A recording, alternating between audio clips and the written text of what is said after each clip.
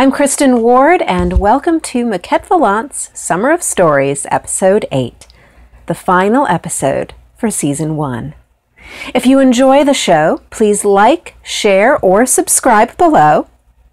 Donations to the project and future storytelling events are also greatly appreciated and can be made at paypal.me forward slash kward story dance.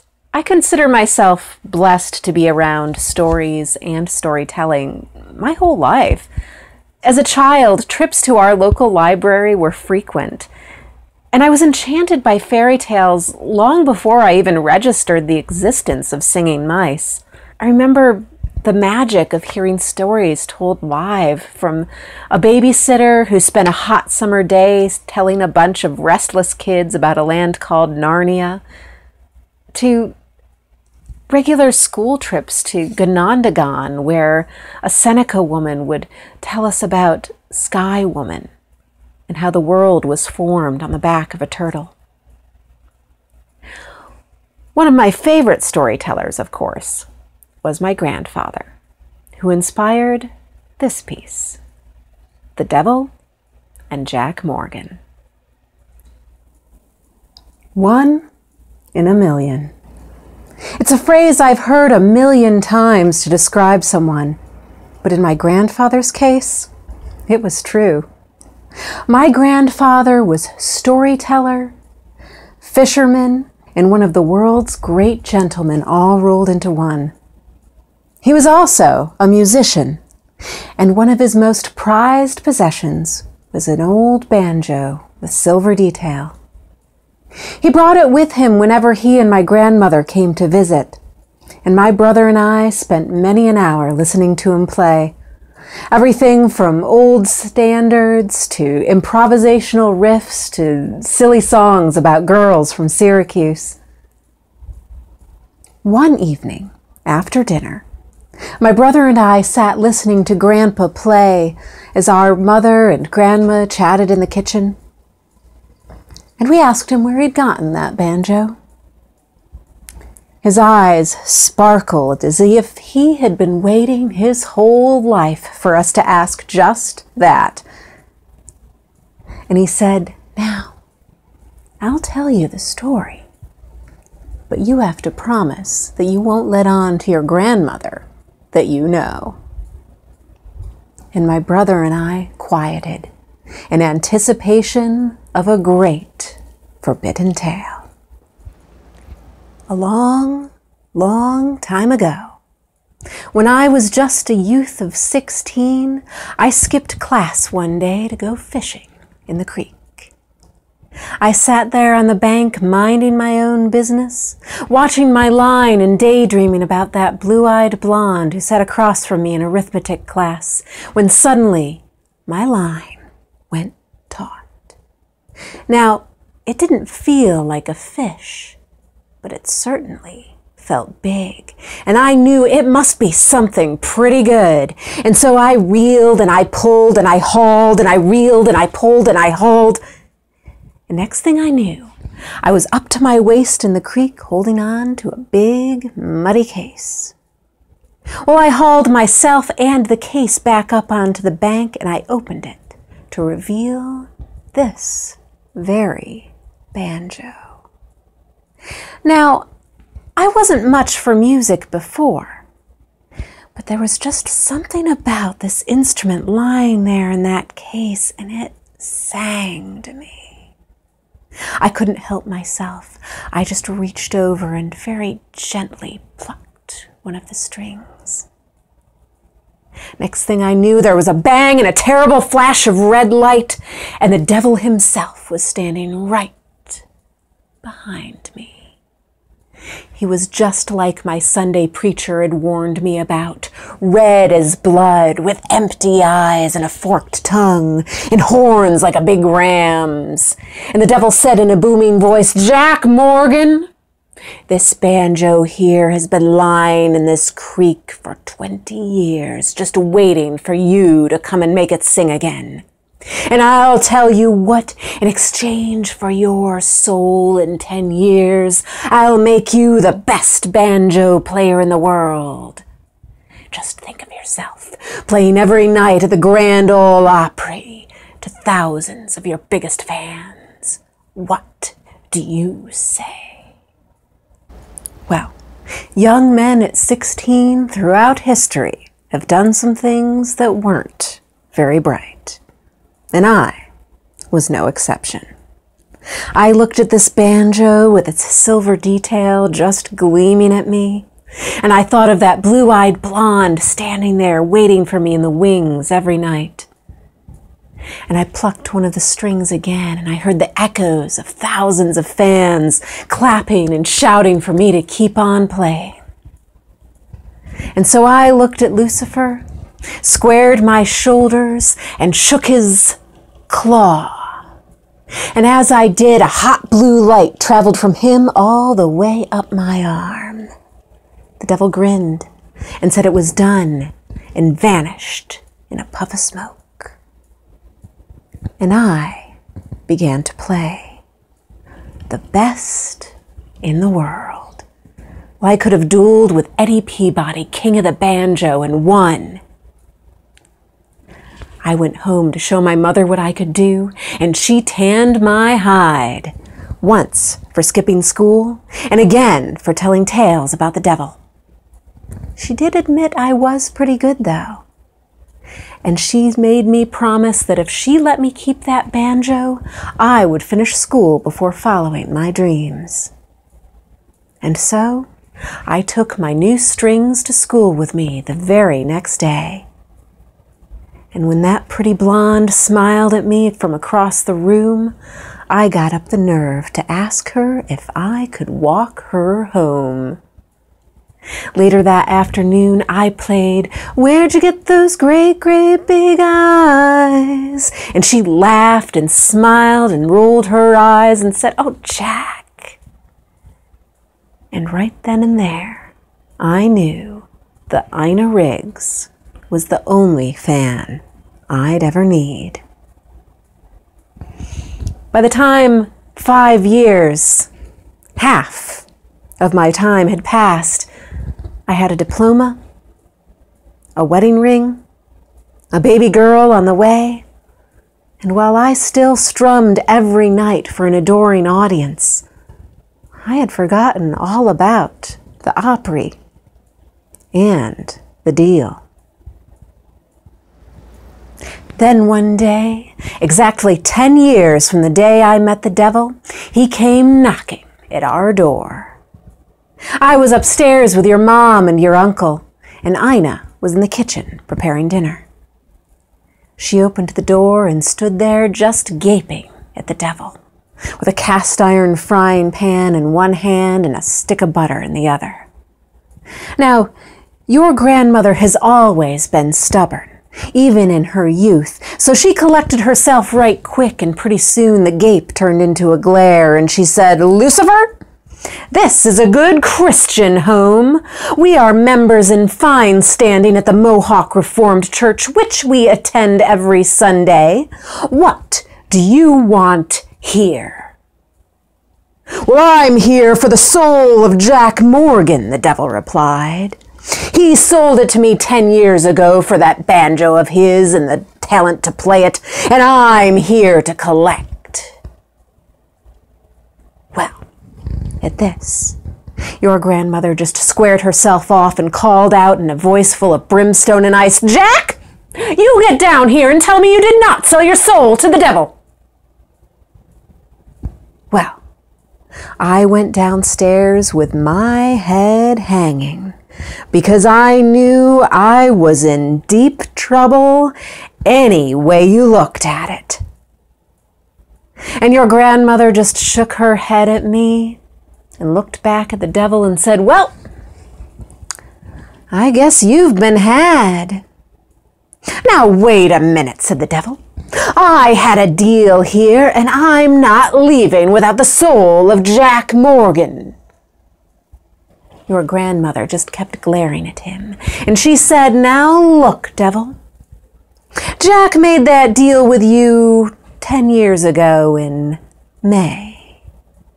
Now, seven months before that, in September, I first noticed him across the room from me in arithmetic class. And he might have been too shy yet to come and talk to me, but that day I saw him, I knew that God had made him just for me.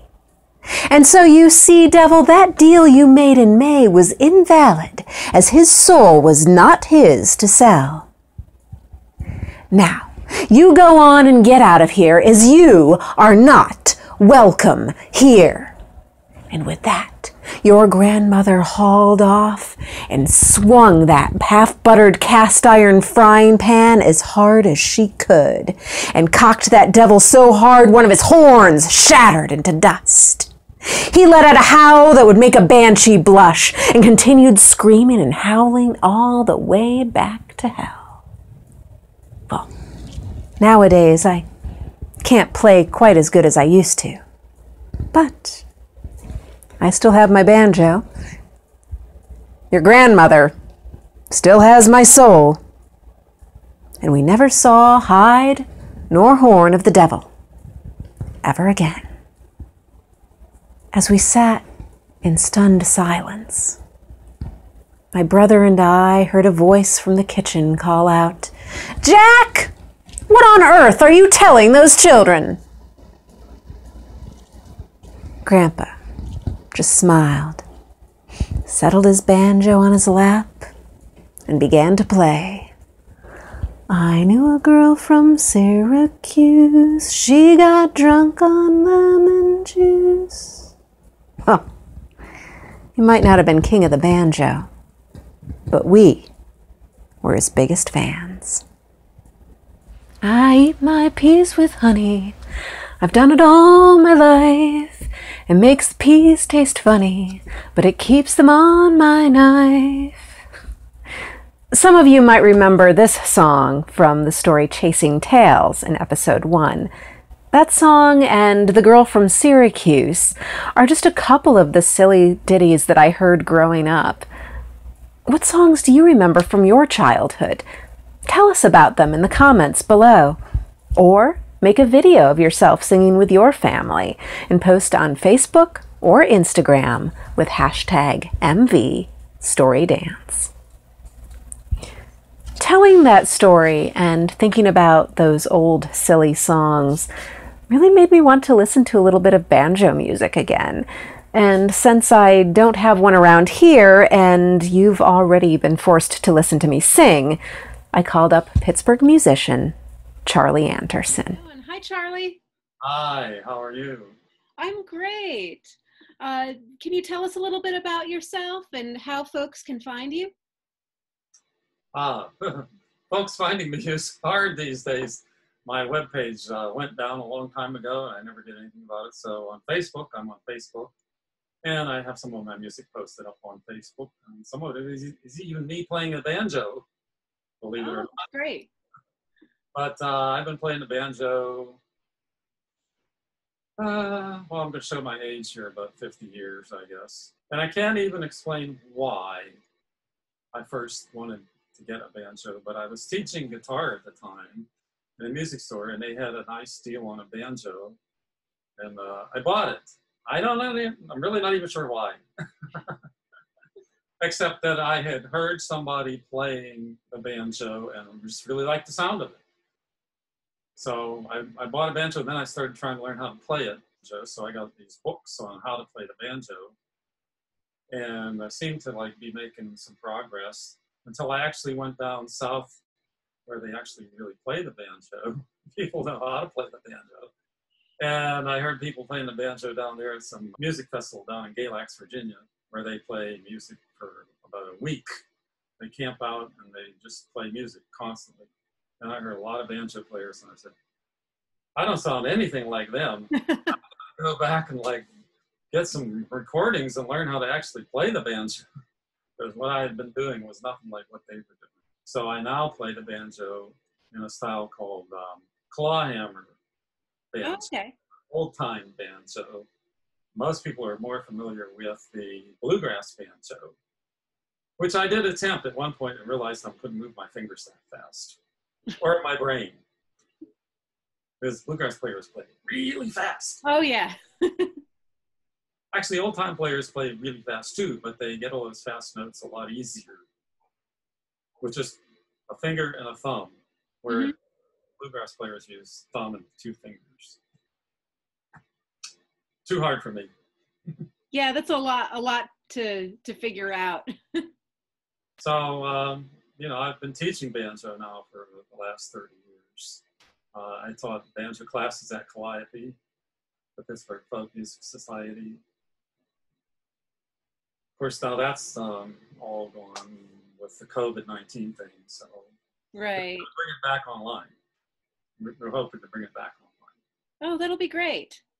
People really want to learn how to play the banjo, they can maybe eventually check out calliopehouse.org and uh, they'll be posting what they're doing and hopefully they'll have banjo classes again.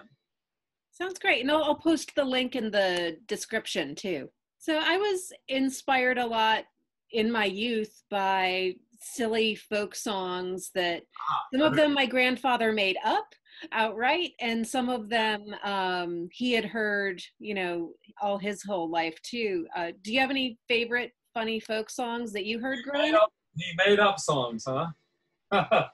well, I've made up a few too. And one of them's kind of funny, but uh, I thought, well, I thought I'll do a traditional one that um, I don't even know when I first learned it. Um, it possibly could have been at the piano. My family, when I was growing up, was kind of musical, and uh, my mom played the piano. And so Friday night was music night, and we all gathered around the piano and sang songs from these different books of folk songs, like Mhm. Songs to Grow On, More Songs to Grow On, and Ruth Crawford Seeger's book, I forget what it's called, but a lot of songs in there. I'm thinking that maybe my first encounter with this song was there, but I'm not sure. Um, the first time I heard it played on the banjo was by a, a folk song guy named Michael Cooney. So uh, this is called Old Molly Hare. And um, I wanted to play it for you for a special reason, actually, not just that uh, it's a funny song, but it's also a pretty good illustration of how the banjo uh, s- sort of tells an American story about our music.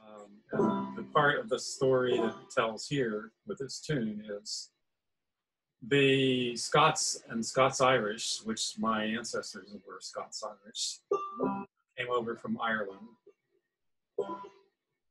And that's another story. Brought their music with them. And this is one tune that has been collected in Scotland, in Ireland, and in the Appalachian Mountains. And uh, the Appalachian Mountain version sounds a little different, but very, very close to the Scottish version. The Scottish uh, musicians call it uh, the fairy reel. okay Um, you know, fairies are something important in Ireland and Scotland, but not in the Appalachians. So there they call it Old Molly Hare. And they have funny words to it, and it goes like Yeah. this.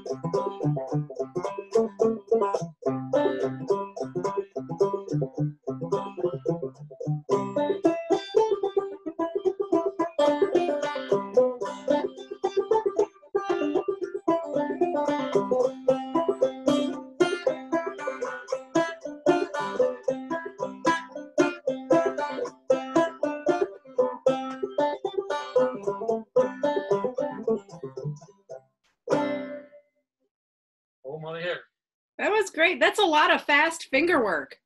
That's a lot of a lot of fast notes in there, you know, but I, I wasn't even playing it. Now, I sort of almost got it up to dance tempo, but it's really dance music um, is where this music found its home. And in this country, we call it square dancing. Oh, okay. Yeah, I can hear that that rhythm in there. So down, down south, that's still um, actually a big uh, social occasion. Though. When we went down to Virginia um, to that Galax um, festival, that I, and you, what you do is you go and you camp there, Mhm. campground, and you stay. People stay up all night playing music all night long. Oh, So when we went down there, my cousin who lives in Georgia met us up there, and uh, she she she knew the countryside around there pretty well from uh, her youth, and uh, she took us uh, way back in the woods somewhere, back in the mountains somewhere, Mhm. where they had built a dance barn, and they had regular weekly dances there, and they played this music for people to dance to. So that's that's the where the life of the music comes from, dancing. Now, when we were setting up the interview, um, I thought it was really interesting because the story I just told about beating the devil can be found in all different cultures throughout the world. And banjos are too. Uh, in fact, you have a African banjo. Do you want to show it to us? Oh yeah, I, I have that here. Um, it's made out of a gourd. I don't know how much of it you can see, but you can see that's that's the gourd part there, and on the back is inscribed uh, there. a uh, you can see maybe if you can see it, it's a bird. It's an African bird. They call it a guinea fowl, which is sort of like a chicken. I'm not sure why there's a chicken on the back of my banjo, but, but the guy that made it thought it would be cool, so he put it there. And the really fun thing about this banjo, it's all natural. It's beautiful. I can hear a little bit of different sound to it too. It has a real different sound. It's made out of wood. Of course, the head is uh, skin, and the gourd is like a gourd. So there's no metal parts in it at all.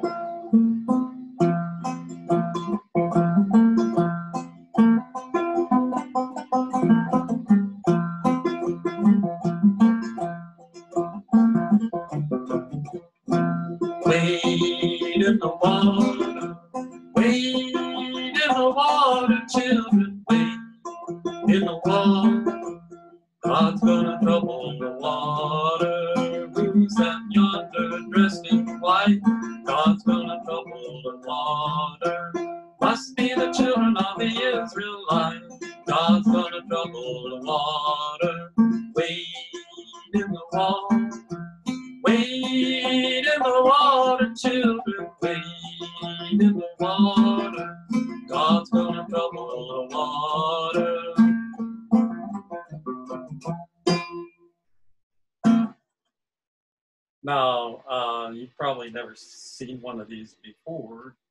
They're not that common, but people have gotten more interested in uh, the origins of the banjo um, since Pete Seeger uh, mentioned his name because probably everybody's heard of him. Almost single-handedly revived the banjo back in the 50s. Um, the banjo has like a, a kind of patchwork story, life story uh, as to how it got to where it is today. But the, short version is it probably originated with an instrument called the akonting in West Africa. And um, the akonting uh, looks very much like this. It uses a gourd and it has a long stick for a neck, and it's played exactly the same way. The akonting is only a recent discovery. It practically disappeared from the face of the earth at one point. There was only a couple of families in West Africa that still played them. And uh, some um, uh, banjo players and musicologists uh, got uh, wind of it and they said, wow, this is exciting because this is just like a banjo. This is probably where the banjo came from to America. By way of the Caribbean. The Caribbean slave trade was where the West African slave trade first came to this continent was. Mhm. And then it came up here into the United States. And it went through a lot of changes. Obviously, they still don't make them out of gourds. They make them more like this now. Mhm. A lot of metal parts in there, and um, people are making all types and styles of these banjos depending on the style of music that people want to play on. But I've never heard that they're particularly associated with the devil. That seems to have been reserved for the fiddle. Well, thank you so much, Charlie. Well, hey, thank you. It's been a pleasure.